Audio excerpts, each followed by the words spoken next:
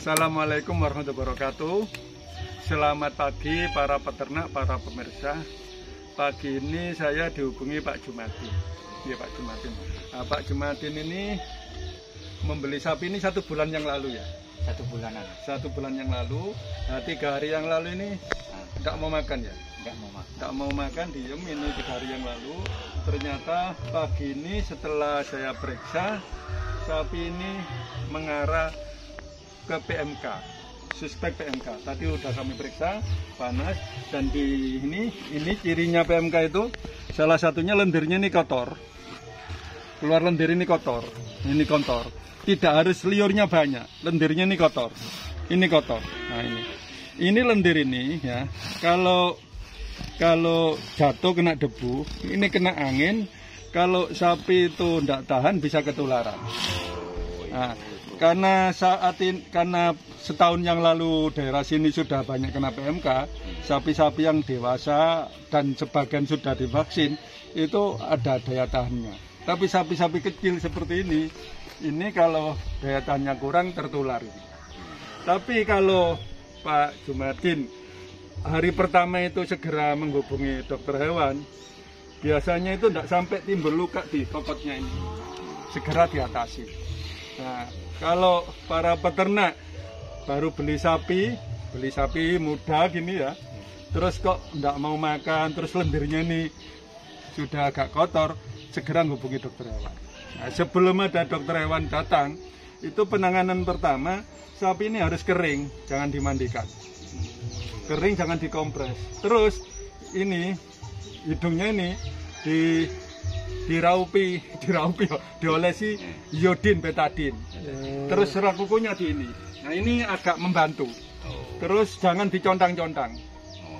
Contang apa jamu? Karena posisi sapi ini puanas, puanas mudah keselak. Ah, keselak memperparah. Oke, ini para peternak seperti itu. Ini kalau langsung ditangani biasanya tidak muncul sariawannya. Ini karena telat sudah muncul ini sariawannya. Ini sariawannya ini. Nah, ini sariawan ini kalau rutin pagi sore di raupi yodin ini lima hari sudah bagus. Nah, selama dua minggu jangan dimandikan.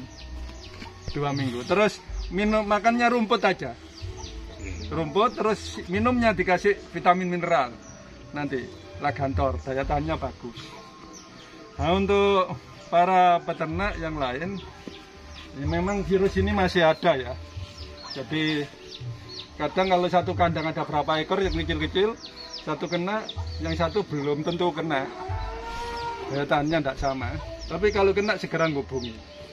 Nah, ini nanti diraupi ini. Terus betadin ya, terus kandangnya itu kalau tidak ada sapi dibersihkan, disiram dengan air sabun oh air sabun mama lemon. Terus kalau sapinya masih sehat, belum pernah Ketular. kena itu kalau mandikan seminggu dua kali apa dimandikan dengan dikari sabun. oh, Terus minumnya ditambah vitamin mineral. mineral Kalau sini kan biasa pakai apa lah gantor milko gitu. nah, nah. Nah, Niko sehari ini cukup satu sendok teh itu. Jadi nggak usah khawatir Mm-mm. kena ini ini. Jadi kena VMK nggak usah khawatir. Masih ada beberapa yang kena, terutama sapi kecil-kecil. Yang gede-gede sudah tahan.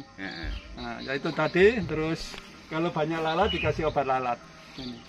Nah, ini nanti nah, cara nge- ngerapi seperti ini. Ini. Iya. Iya. Oke.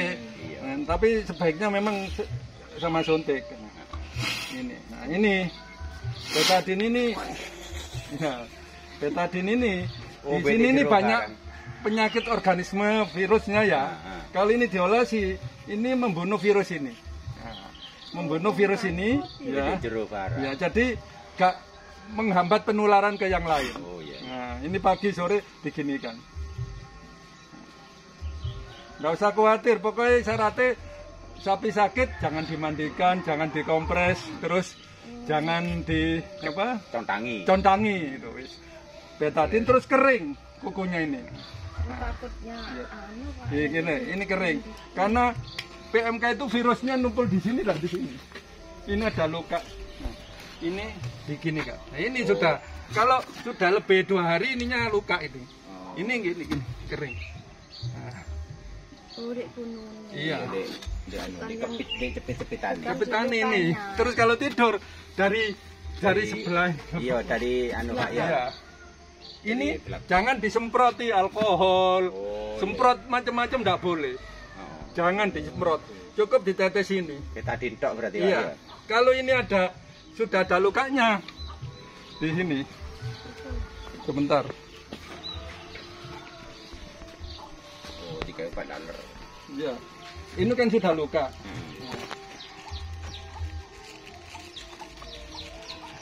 Kalau hari pertama langsung lapor, ya, insya Allah enggak sampai ini. Sama cekeli tong arion apa. Nah, ini kalau sudah ada luka, ini dikasih salep. Setelah ditetesi yudin tadi ya, salep sama obat lalat. Nah, obat lalatnya Dicampur Pak. Iya. Nah ini, nah ini, nah ini dicampur gini dioleskan di sini. Nah, ini soalnya ini kalau udah dikasih obat lalat sama sama obat lalat sama salep, Hmm. luka ini dinggapi lalat. Oh iya iya. Lalat ini ngendok, ngendok telur, Jadi set, Oh. set boroken. Hmm.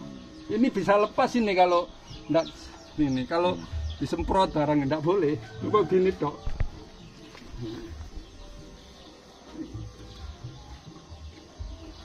Cukup es. Tetesan yodin cuma sekali tok di sini. Hmm. Di sini nanti sore diraupi yodin lagi. Yudin. Sing belakang paling Pak ya. Iya. Yang belakang bisa. Yang belakang sebelah anu. Kanan. Yang kanan. Kalau sampean lapore langsung Hmm. enggak sampai muncul ini. Hmm. Iya, tak tahu kupu sopo ah. Oh, oh ya. Enggak pernah anu, Pak. Ini kan sapinya kecil.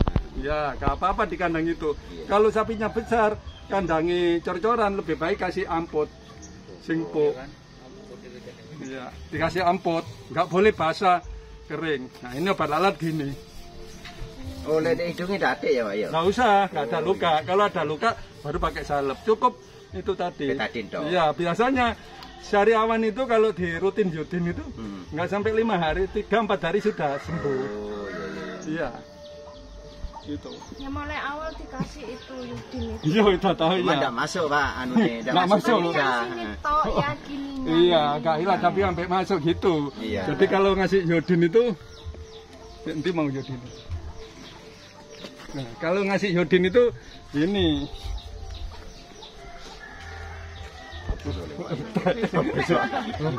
Oh, ada, ada, ada, ada. Ada ada ya. Oh, Jadi siap Selalu siap Pak. siap. oh iya, selalu siap. Iya. Pokoknya obat lalat sama yodin ini selalu siap. Jadi nek ngelup ngene. Nah, nah. Oh, dek Iki nih. mabuk ciri-ciri. Oh, enggak apa-apa ini. Tiga kali usapan ini. Jadi para peternak nggih, saat ini nih sapi itu ada penyakit itu tiga macam yang harus diwaspadai. Hmm. Penyakit virus itu. Gejalanya demam semua, Hmm. luar liur. Terus yang umum daerah sini, kalau liar liurnya ini bening, Hmm. itu dua tiga hari tidak ada luka ini itu namanya demam sapi kalau bahasanya BEF bovin ephemeral fever ya sama sama ngongsrongnya juga Oh. liurnya bening tapi ini Hmm. terus mulai tahun kemarin baru kita kedatangan PMK Hmm. PMK juga seperti itu cirinya ini lendirnya ini kotor Kotor. kalau dua tiga hari dibuka ini ada sariawan Oh, terus kukunya ini luka Hmm. nah ini PMK PMK. Iya. Ya, luka. Iya, terus ada lagi bendol-bendol. Nah, ini penularan anu demam terus bendol-bendol ini kulitnya. Oh. Ini namanya LSD. Hmm. Muka sini tidak ada.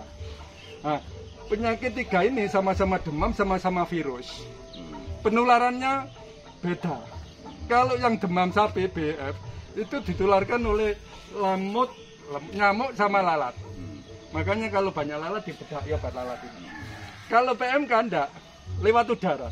Lendirnya ini, lendirnya ini, ini kalau kena debu, itu debunya terbang Hmm. atau lendirnya dinggapi lalat, Hmm. bisa ya, terbang. Ini yang lain bisa ketularan. Kalau dia belum pernah sakit atau belum pernah divaksin. Vaksin. Tapi kalau sudah pernah sakit, biasanya punya kekebalan. Jadi seperti saat ini, walaupun ada PMK, sapi yang dulu kena PMK, terus orangnya sabar, sembuh, tidak apa-apa, lebih tahan. Tapi kalau beli sapi baru, Hmm.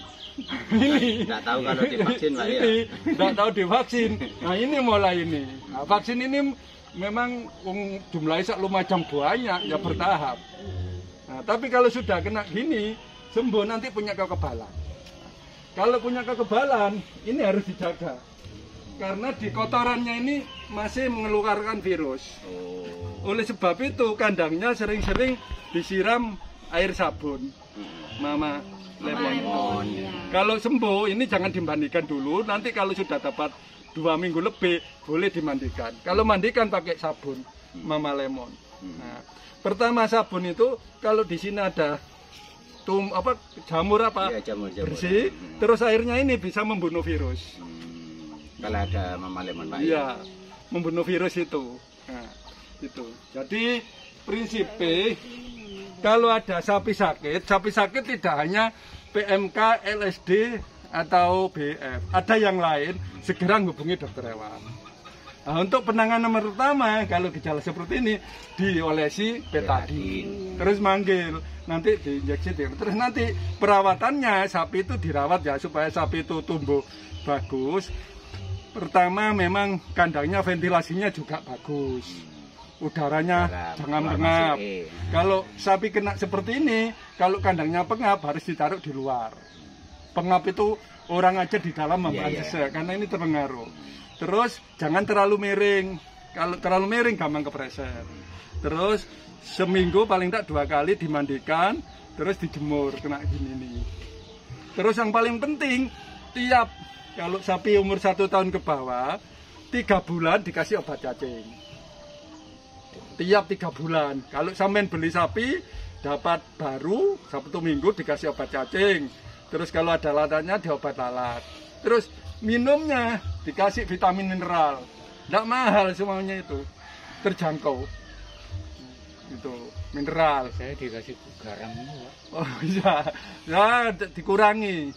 Garamnya dikurangi Pak ya. Iya, lebih baik pakai vitamin mineral. Ya, seperti itu pencegahannya.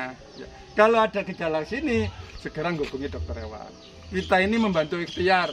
Insya Allah kalau ikhtiar ada jalan, nah, kesembuhannya tergantung Gusti Allah. Tapi selama ini, selama yang saya tangani ini, Alhamdulillah banyak diberi kesembuhan. Itu. Jadi ini nanti pagi, nanti sore diolesi Betadin lagi. betadin lagi besok dilihat nanti giginya ini nah, repotnya ciri sapi PMK itu walaupun ini lendirnya kotor masih mau makan. Iya. kalau demam sapi kadang tidak mau makan. Nah, umumnya peternak itu lapor kalau sapi sudah tidak mau makan. Iya, iya. Nah, itu sering akhirnya kasep. Sebaiknya kalau ada kok tidak benar ada diare ada apa segera hubungi dokter hewan. Jangan nunggu tidak mau makan. Nggih.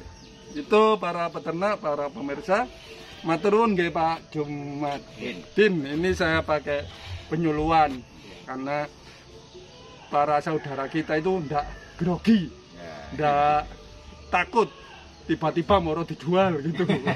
Nah, diobati dulu, ikhtiar dulu. Insya Allah diberi kesempatan oleh Gusti Allah.